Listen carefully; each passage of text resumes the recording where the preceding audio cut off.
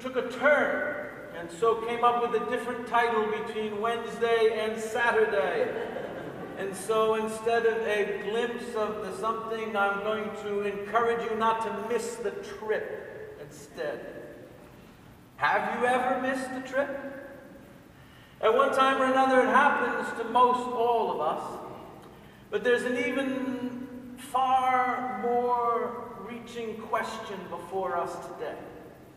And that is, will we miss the trip? A preacher told of sitting on a plane waiting to take off one day. There's a woman next to him. No two seatmates could have been more different finely pressed suit and shining shoes next to sweatshirt and stretch pants, aluminum briefcase and laptop, shopping bags and bundles. This is my first time on a plane, she grinned. Do you fly a lot? He nodded a yes. And she said, Oh, that must be a lot of fun. He groaned. It was going to be a long flight. She volunteered that she was going to Dallas to see her son. Then she filled in all the blanks. The boy had the flu, he had a black lab, the dog's name was Wilbur. As the plane climbed, she looked out the window. Ooh, look at the trees, they look like peat moss. People turned around in their seats and stared. The preacher noticed that the man in front of them was discussing a business trip to Japan. The fellow behind them kept ordering two beers at a time. The woman to his right had important looking papers stacked all around her, and he opened his laptop and began to work. It suddenly occurred to him that the only person on the whole plane enjoying this trip was the woman sitting next to him.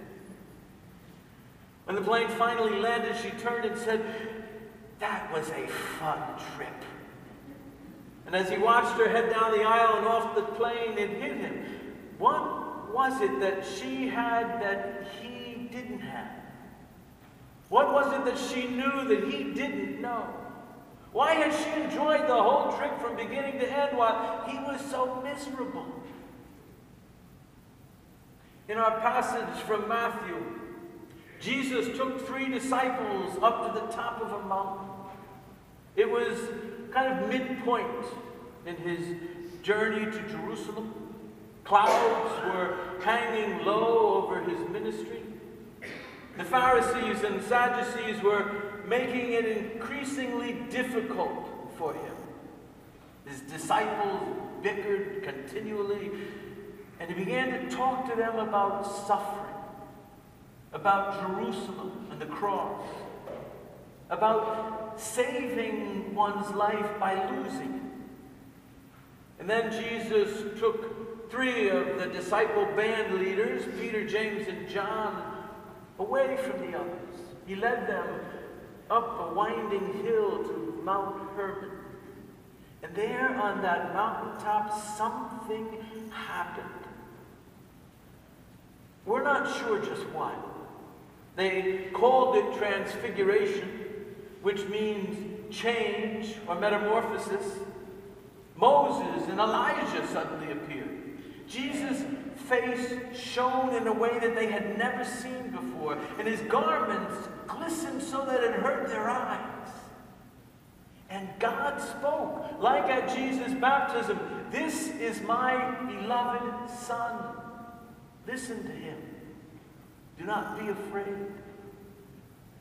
That encounter turned those disciples inside out, changed their lives. They were never quite the same ever again. Peter wanted to stay right there forever in that moment so they could hang on to that moment and experience it. But Jesus said, No, no, can't do that. And Jesus and the three disciples began the winding trip back down the mountain. Jesus calls the experience a vision.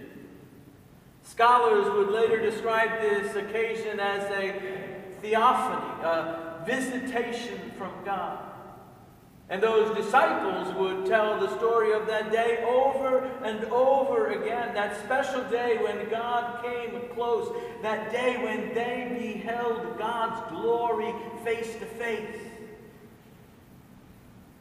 What you may be wondering at this point is, what does this story of the transfiguration have to do with the woman and the man on the plane? In a word, everything.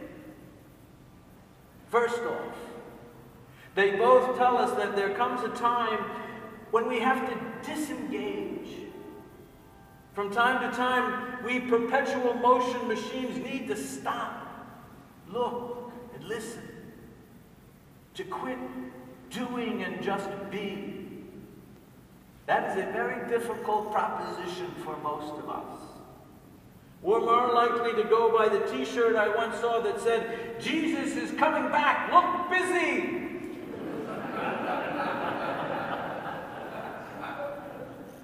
Robert Fulghum tells about a woman who was so stressed out she went to see a psychiatrist. After listening to her for a long time, he wrote out a prescription and handed it to her. She read the words the doctor had written, and it said, Spend one hour on Sunday watching the sunrise while walking in a cemetery. Against her better judgment, she followed the doctor's advice.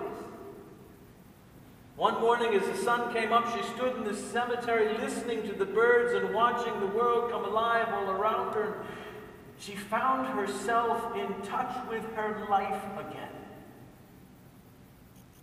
You and I need to disengage periodically. To get away and go up a mountain, or else we're going to wake up one day, shake our heads, and realize we pure and simply missed the trip. I encourage you to make use of the labyrinth that will be in the chapel through Lent.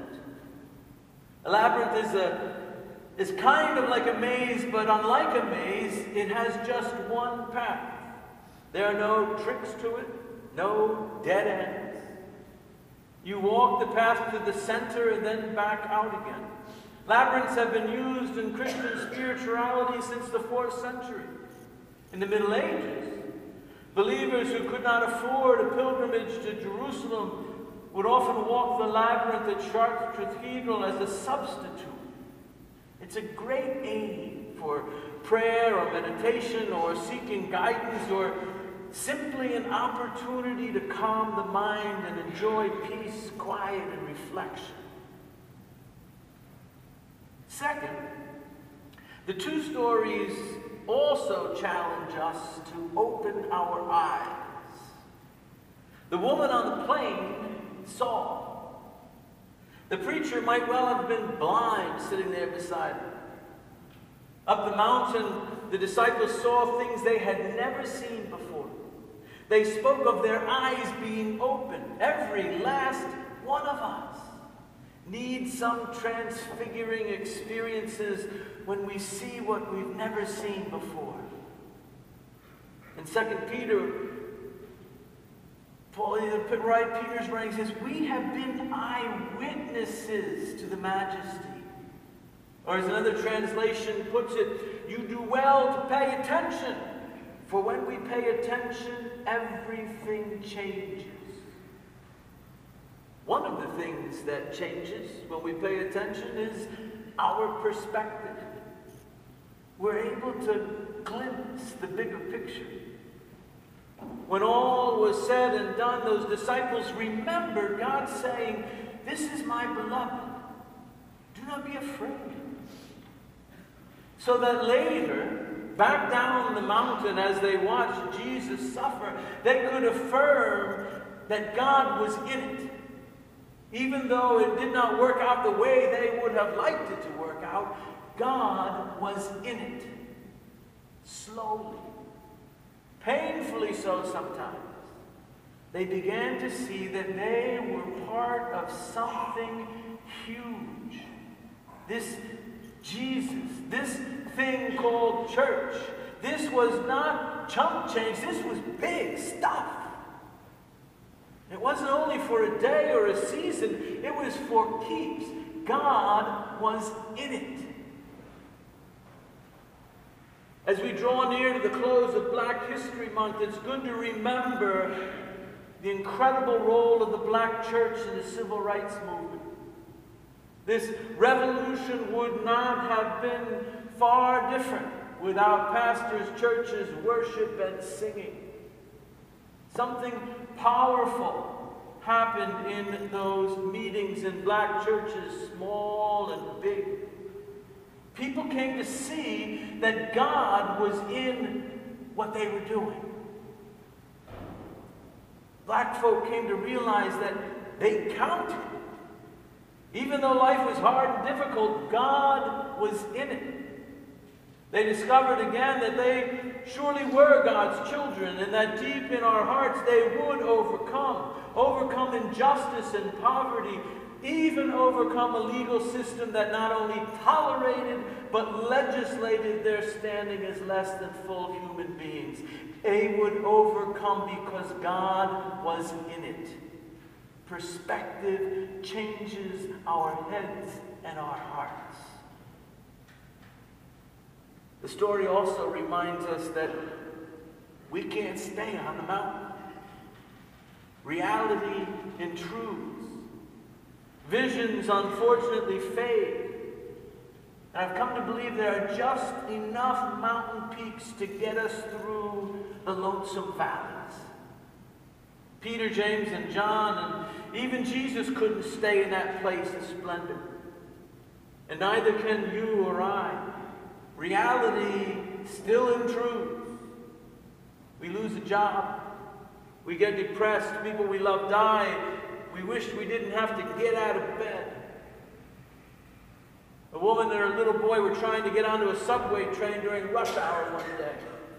It was a nightmare. They were mushed on an escalator with zillions of others. The little boy tugged his mother's hand, looked up, and asked, Mommy, are we in line? No, she replied, there is no line. This isn't school, this is life. And life is sometimes tough and crowded and difficult. But the test of any vision is what we do when we are back down to the bottom of the mountain. The transfiguration of Jesus calls us to make this a better place, calls us to make us a better church, calls us to let justice roll down like waters and righteousness like a mighty stream, no matter what valley we may find ourselves in. Remember that woman on the plane? Remember Jesus and his disciples on the mountain. And remember what Jesus told them. It was a warning, really. Life is way too short. It doesn't last near long enough. Therefore, take some time to disengage.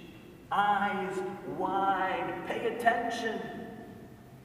And instead of missing the trip, enjoy the journey. Amen.